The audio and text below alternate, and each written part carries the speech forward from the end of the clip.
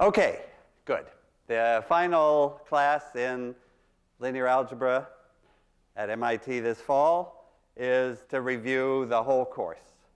And uh, you know the best way I know how to review is to take old exams and just think through the problems. So it'll be a three hour exam next Thursday. Uh, anybody who's got, I mean, nobody will be able to take an exam before Thursday. Anybody who needs to take it in some different way after Thursday should see me next Monday. I'll be in my office Monday. Okay. So, may I just read out some problems and uh, I'll let me bring the board down.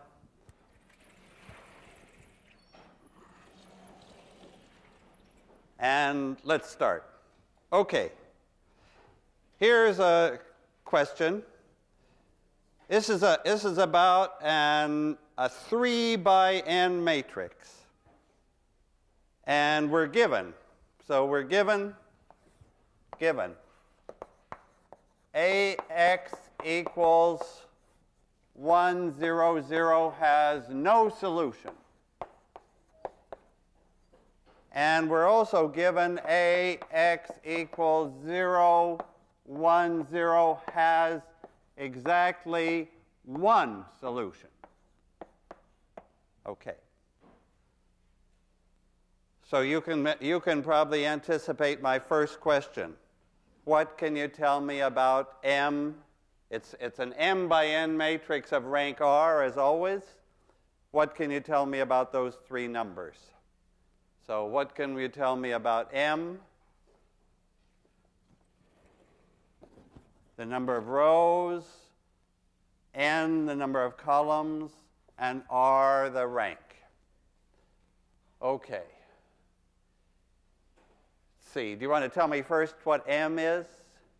How many rows in this matrix? Must be three, right? We can't tell what n is, but we can certainly tell that m is 3. Okay. And what do we know about? Um, so, what do these things tell us? Let's take them one at a time. When, when, this, when I discover that some equation has no solution, that there's some right hand side with no answer, what does that tell me about the rank of the matrix? It's smaller than, it, it, it's smaller than m. Is that right? That this, if, if there's no solution, that tells me that the rank, that, the, that some rows of the matrix are combinations of other rows. Because if, if, if, if I had a pivot in every row, then I would certainly be able to solve the system. I would have particular solutions and all, all the good stuff. So if, if any time that, that there's a system that has with no solutions, that tells me that R must be below M.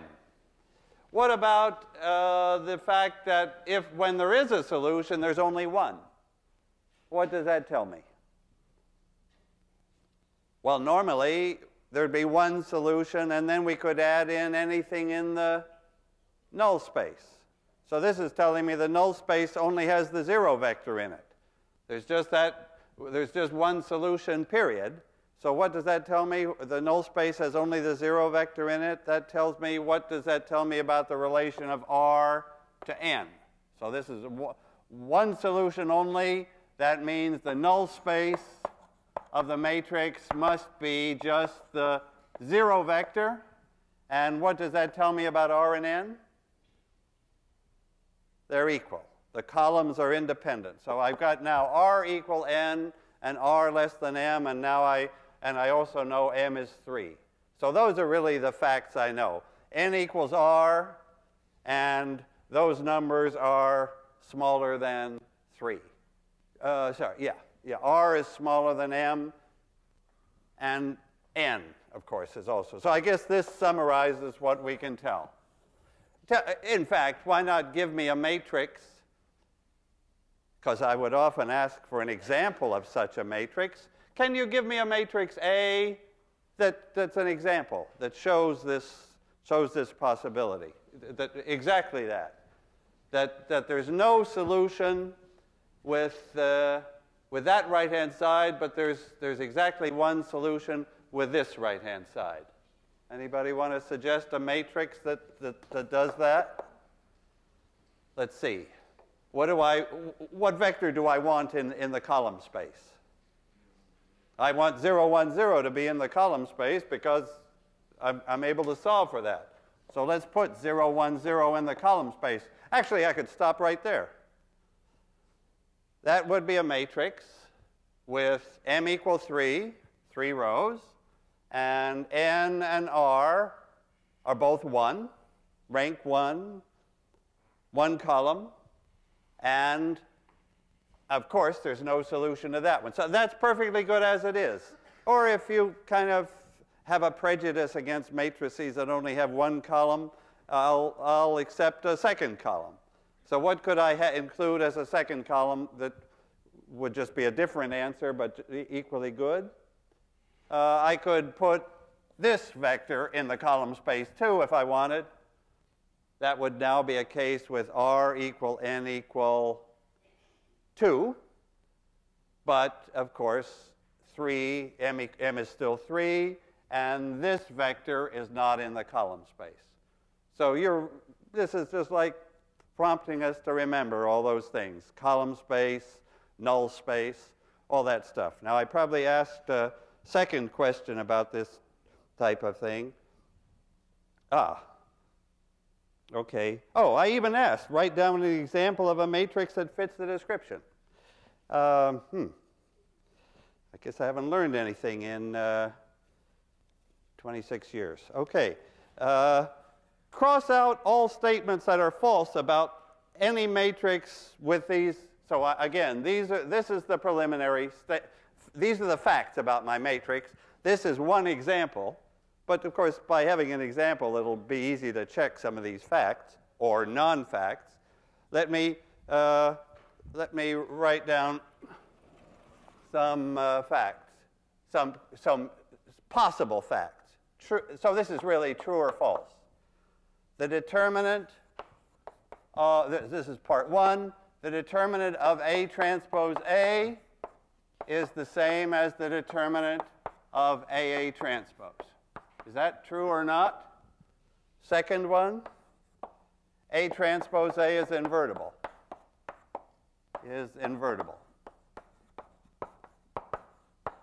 Third possible fact, A, A transpose is positive definite. So you see how on an exam question I try to connect the different parts of the course. So, well, I mean, the simplest way would be to try it with that matrix as a, as a, as a good example, uh, but maybe we can answer uh, even directly. Let, let me take number two first, because I'm, you know, I'm very, very fond of that matrix, A transpose A. And when is it invertible? When is the matrix A transpose A invertible? The, the, the great thing is that I can tell from the, from the rank of A that I don't have to multiply out A transpose A. A transpose A is invertible. Well, if A has a null space, other than the zero vector, then it, it's no way it's going to be invertible. But the beauty is, if the null space of A is just the zero vector, so the, the, the key fact is this is invertible if R equals n, by which I mean independent columns of A in A, in the matrix A. If R equals n, if the matrix A has independent columns, then this combination A transpose A is square and still that same null space, only the zero vector, independent columns, all good. And So what's the, what's the true false? Is, it, is this middle one T or F for this, uh, in this setup? Well, we discovered that we discovered that, that R was N from that second fact. So this is a true. That's a true. And of course, A transpose A in this example would probably be, what would A transpose A be for that matrix? Can you multiply A transpose A and see what it looks like for that matrix? What shape would it be? It'll be 2 by 2. And what matrix will it be? The identity. So checks out. Okay, what about AA transpose? Well, depending on the shape of A, it could be good or not so good.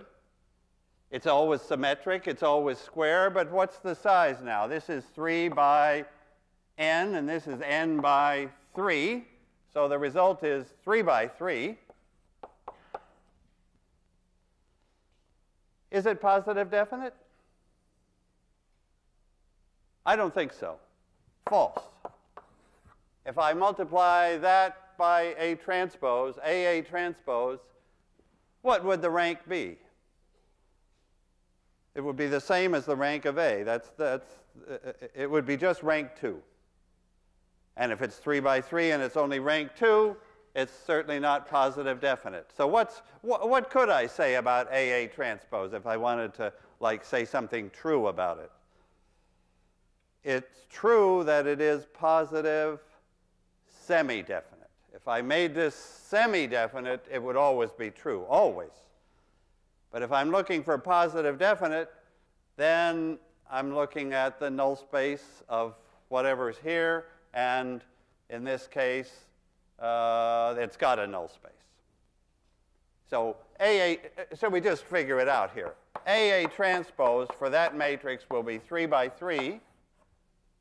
If I multiplied A by A transpose, what would the first row be?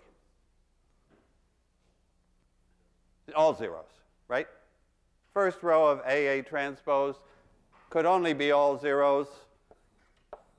So it's probably a 1 there and a 1 there, or something like that. But uh, I, I don't even know if that's right. But it's all zeros there, so it's certainly not positive definite. Let me not put up anything I'm not, don't check. What about this determinant? Oh, well, I guess that's a sort of tricky question. Is it true or false in this case? It's false, apparently. Because A transpose A is invertible. We just got a true for this one, and we got a false, we got a, we got a non-invertible one for this one. So actually, this one is false, number one. That surprises us, actually, because it's, uh, I mean, why was it tricky? Because what is true about determinants? This would be true if those matrices were square. If I have two square matrices, A and any other matrix, B, could be A transpose, could be somebody else's matrix, then it would be true that the determinant of BA would equal the determinant of AB. But if the matrices are not square, and it would actually be true that it would be that would equal that this would equal the determinant of A times the determinant of A transpose. We could even split up those two separate determinants, and of course those would be equal. But only when A is square. So that's just, uh, that's a question that rests on the, the falseness, rests on the fact that the matrix isn't square in the first place. Okay, good. Um, let's see. Uh, oh, now, he even asks some more prove that A transpose Y equals C. Ha, God, this question goes on and on. Um, now I ask you about A transpose Y equals C. So I'm asking you about the equation, about the matrix A transpose. And I want you to prove that it has at least one solution one solution for every C, every right-hand side C, And in fact, in fact, infinitely many solutions for every C. Okay. Well, none, none of this is difficult, but uh, it's been uh, a little while, so we just have to think again. When I have a system of equations, this is this matrix A transpose is now instead of being 3 by n, it's n by 3. It's, it's n by m, of course. To show that a, that a system has at least one solution, when does, this, when does the system, when is the system always solvable? when it has full row rank, when the rows are independent. Here we have n rows,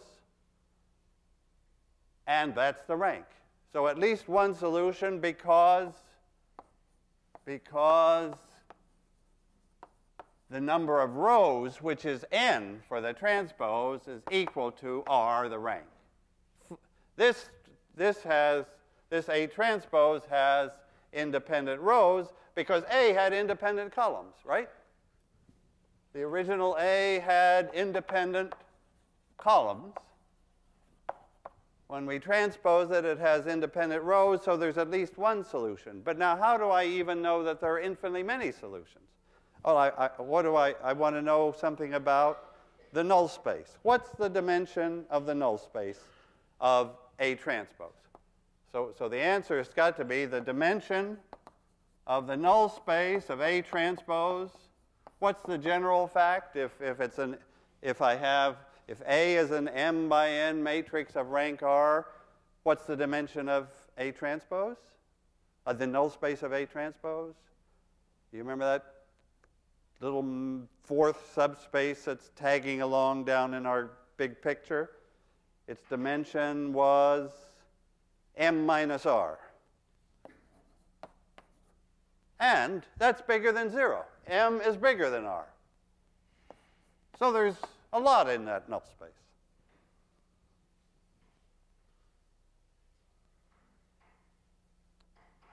So there's always one solution because, and this is speaking about A transpose. So for A transpose, the roles of M and N are reversed, of course. So I'm, keep, keep in mind that that this board was about A transpose, so the roles, so it's the null space of A transpose, and there are M minus R free variables. Okay, that's like just some uh, review. Can I take another problem that's also sort of, suppose the matrix A has three columns, V1, V2, V3. Those are the columns of the matrix. All right. Question A. Solve. AX equals V1 minus V2 plus V3. Tell me what X is.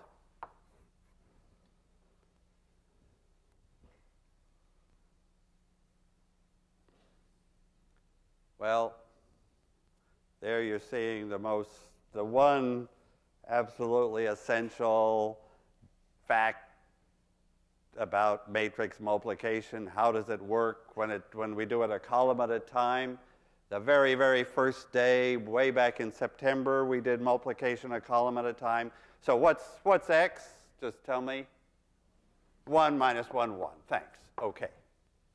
Everybody's got that.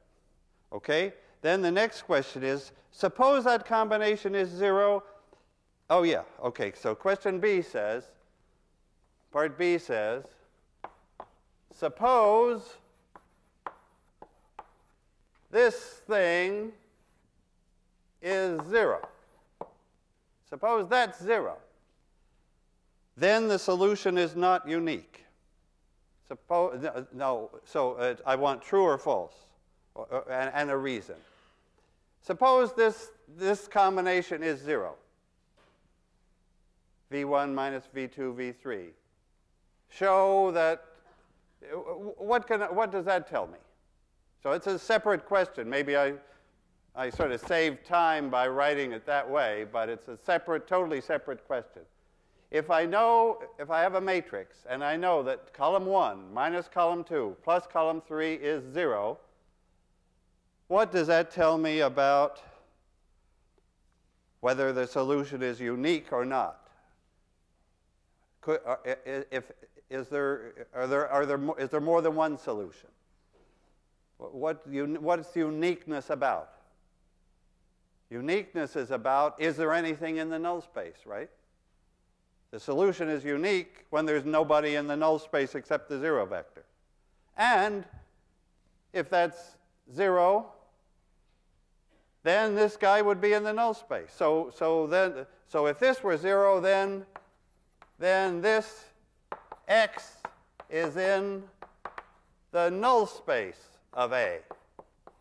So solutions are never unique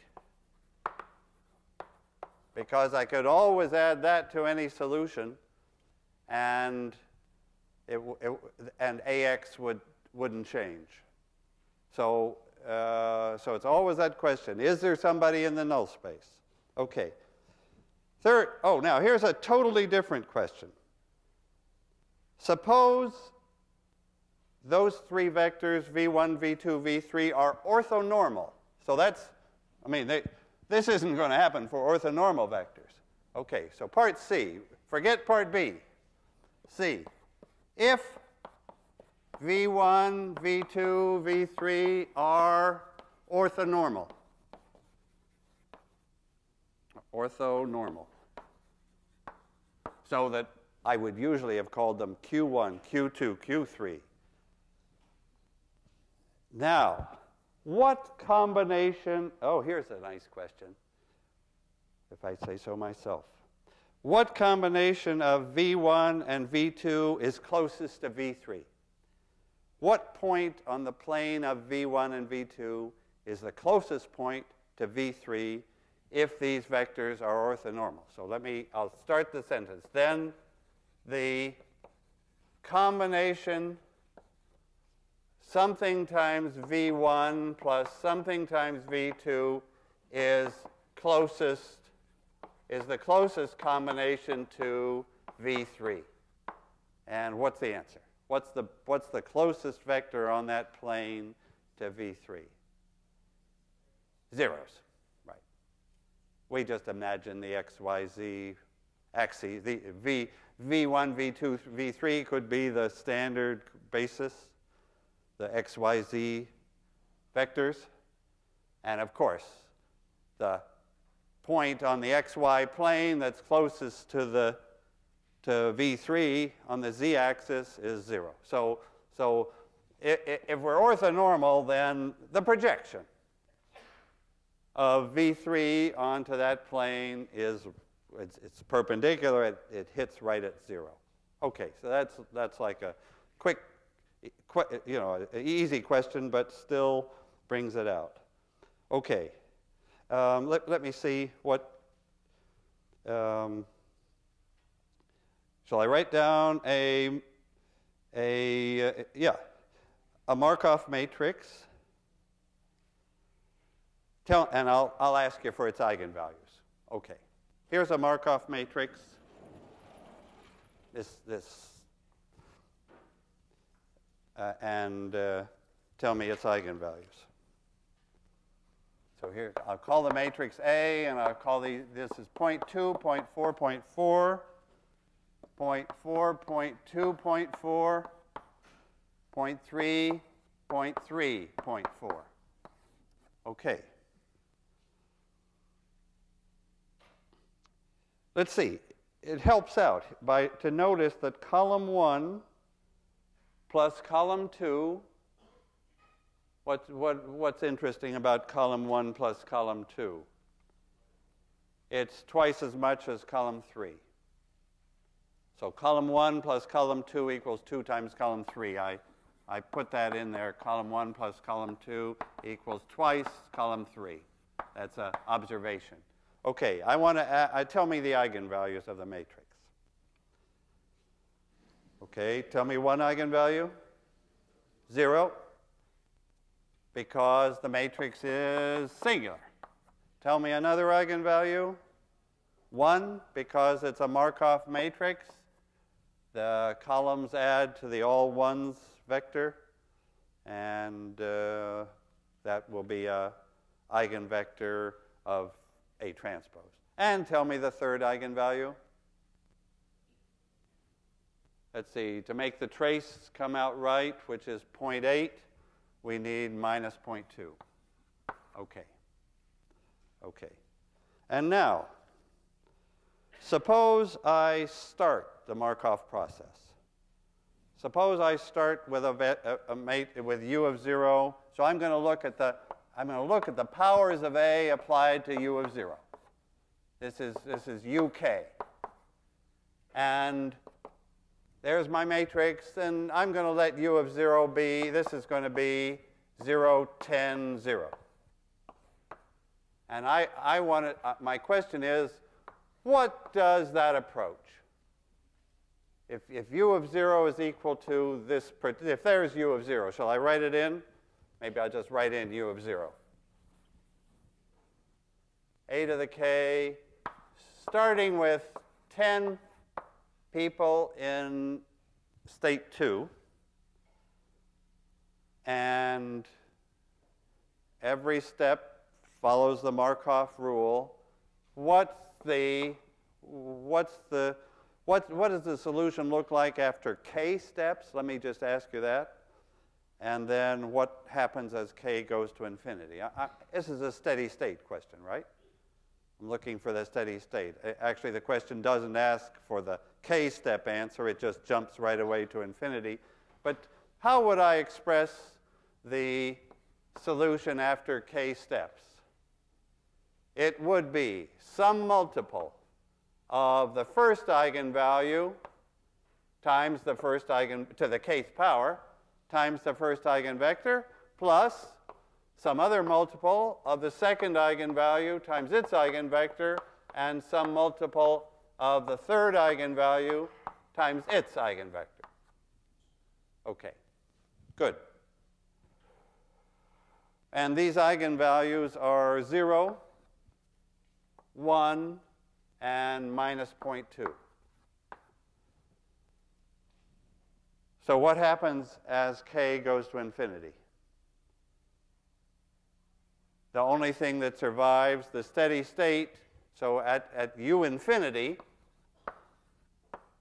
this is gone, this is gone. All that's left is C2x2.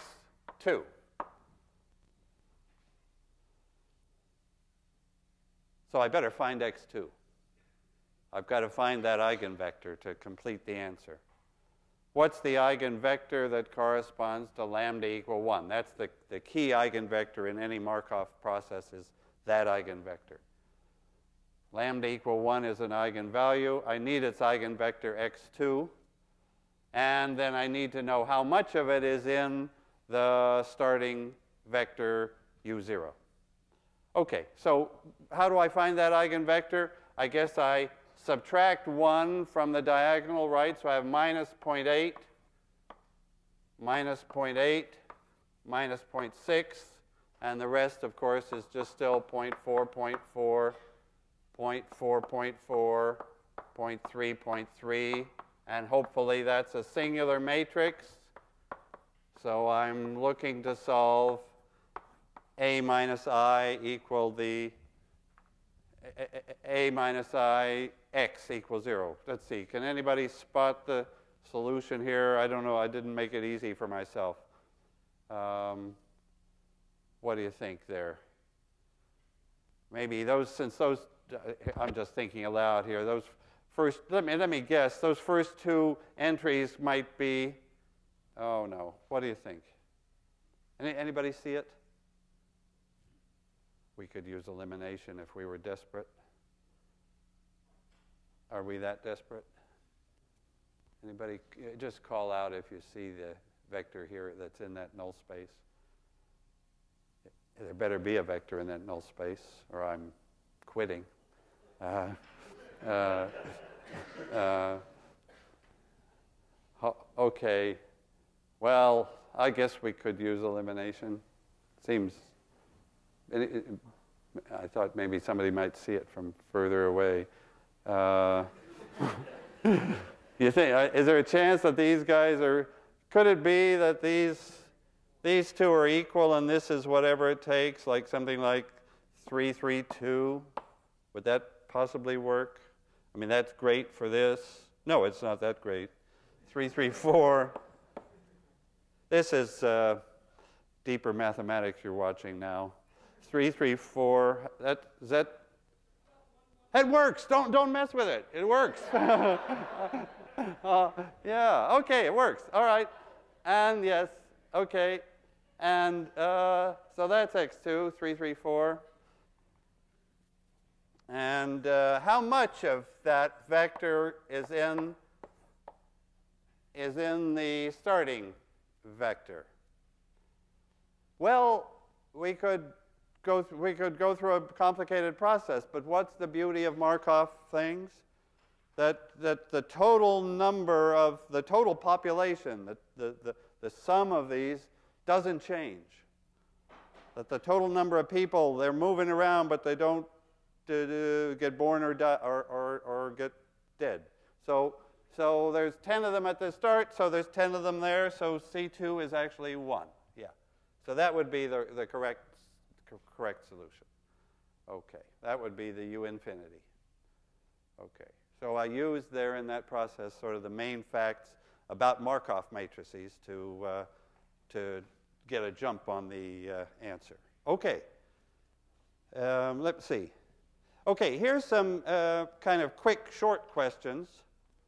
Uh, maybe I, I'll move over to this board and leave that for the moment. I'm looking for two by two matrices. And I'll read out the property I want, and you give me an example or tell me there isn't such a matrix. All right, here we go. First, so two by twos. First, I want to project I want the projection, projection onto the line through A equals 4 minus 3. So it's a 1, 1D, a one-dimensional projection matrix I'm looking for. And what's the formula for it? For, what's the formula for the projection matrix P onto a line through A, and then we'll just plug in this particular A. You remember that formula? There's an A and an A transpose, and we can, do, normally we would have an A transpose A inverse in the middle, but here we just got numbers, so we just divide by it, and then plug in A, and we've got it. Okay, so equals. You can put in the numbers trivial, right? Okay, number two, the matrix that has eigenvalues 0, so this is a new problem, the matrix with eigenvalues 0 and 3 and eigenvectors, well, let me write these down. Eigenvalue 0, eigenvector 1, 2, eigenvalue 3, eigenvector 2, 1. I'm giving you the eigenvalues and eigenvectors instead of asking for them. Now I'm asking for the matrix. What's, what's the matrix then? What's A? What's the, here was a formula, then we just put in some numbers.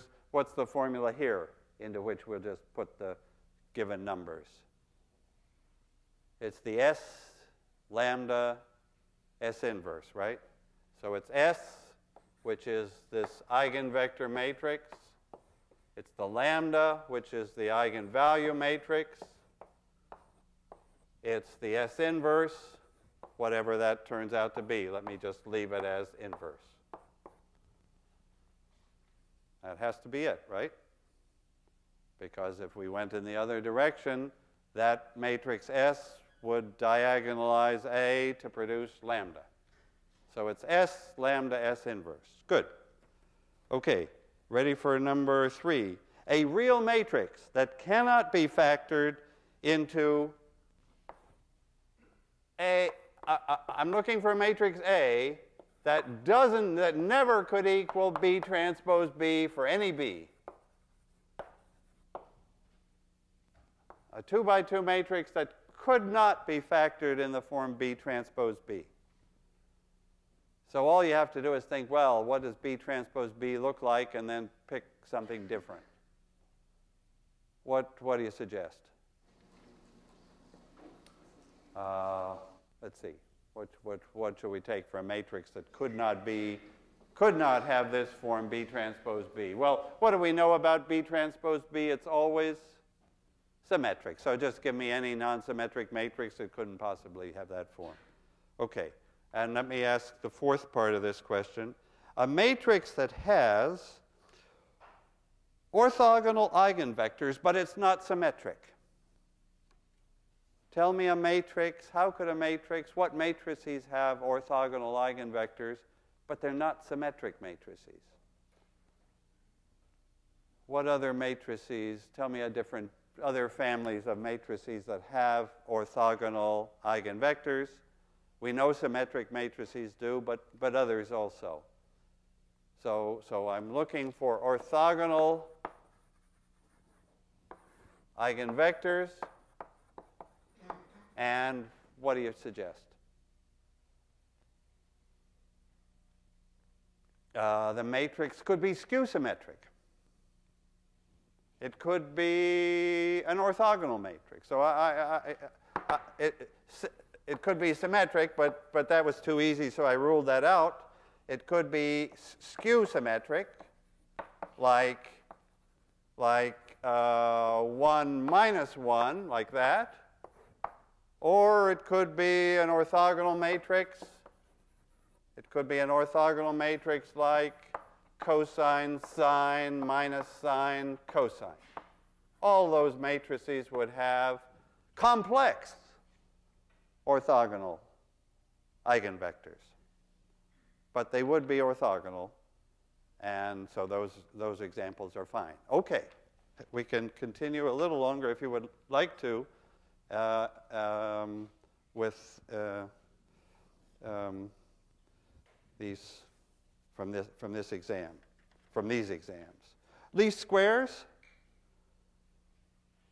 Okay, here's a least squares problem in which to make life quick. I've given the answer. It's, it's like Jeopardy, right? Uh, I just give the answer and you give the question.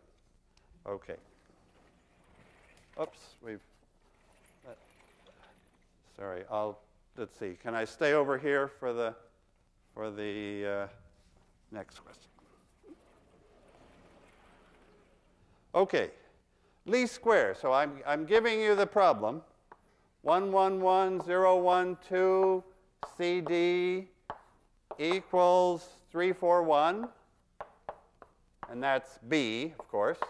This is A, X equal B and the least squares solution.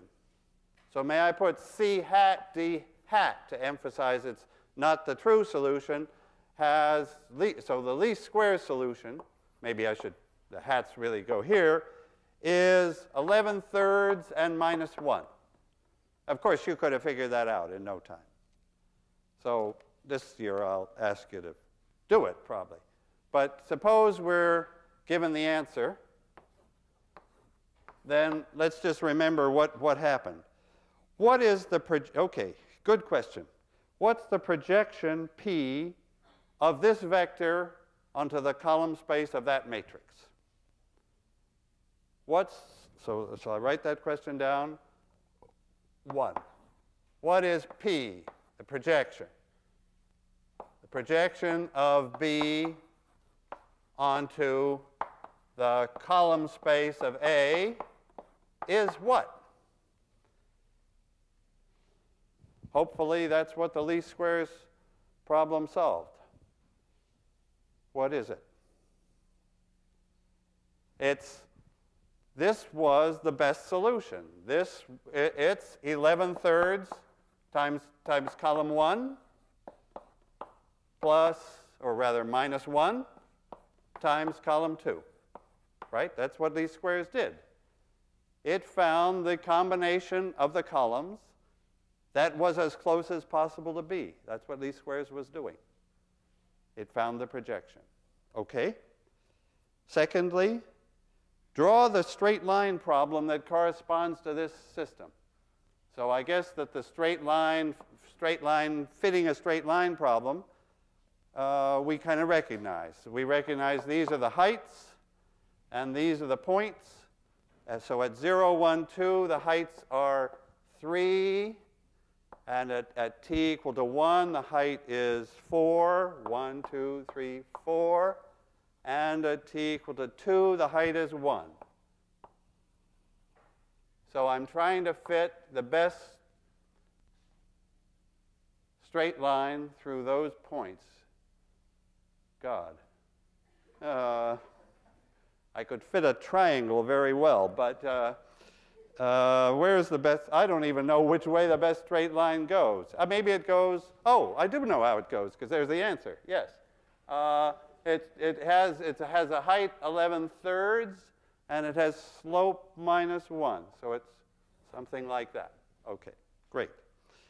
Now, finally, and this completes the course, find a vector, a different vector b, not all zeros, for which the least squares solution would be 0. So I want you to find a different b so that the least squares solution changes to all zeros.